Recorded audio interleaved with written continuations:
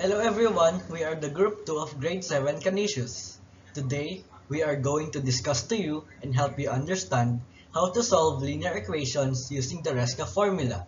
Let's start! Here are this exit product's objectives. To be able to create word problems about COVID-19 involving linear equations in one variable and to be able to solve the created word problem using Resca.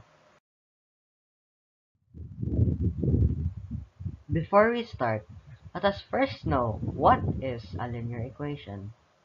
It is an equation in which there is no exponent on any of the variables, automatically making it a linear equation, also known as a first-degree equation. First of all, what is Resca? RESCA stands for Representation, Equation, Solution, Checking, and Answer. It is a formula that can be used in math to organize the work of a problem solution. Here's a sample problem. In Cagayan de Oro City, the number of COVID recoveries is 3,000, more than 13 times the number of deaths. Find the number of cases for deaths and recoveries if the total number of cases is 227,168.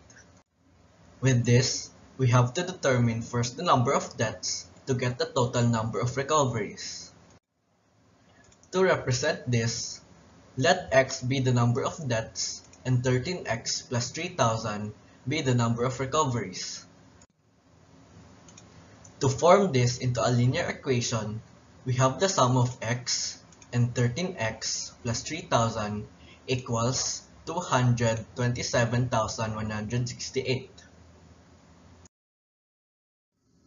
To solve this, first, we must find the number of death cases by finding the value of x from the equation of the sum of x and 13x plus 3000 that is equal to 227,168. Remember to simplify the like terms in the equation. Let's combine x and 13x, which now gives us 14x. Then copy the rest of the equation. Our goal now is to isolate the term 14x.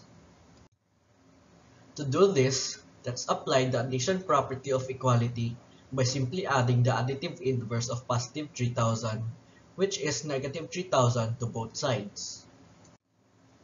We have now isolated the term 14x.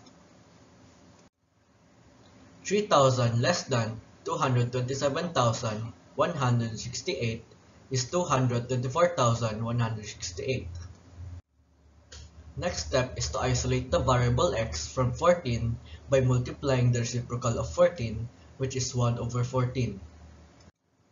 We should always remember that in MPE, that whatever we multiply to one side of the equation, we multiply the same to the other side.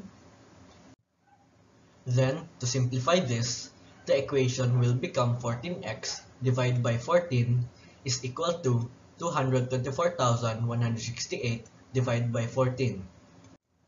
Now, we can isolate the variable x by eliminating the number 14. We then divide 224,168 to 14 to get the total number of death cases, which is 16,012. To determine the number of recoveries from the equation 13x added to 3000, we have to substitute our answer to the variable x. The product of 16,012 and 13 is equal to 208,156, then copy the rest of the equation. Then, the sum of 208,156 and 3,000 gives us the total number of recoveries from COVID-19, which is 211,156. To find out if the value of x is correct, we can do the checking by substituting the value 16,012 from the variable x. Then, we have to get the product of 13 and 16,012, which is 208,156, then copy the rest of the equation.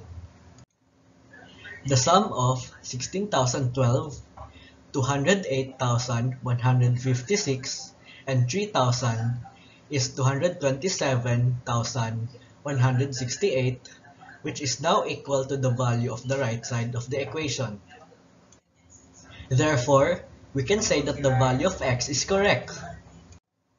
In conclusion, there are a total of 16,012 death cases and 211,156 recoveries from COVID-19. Hope you learned something today. Bye! Thank you for watching.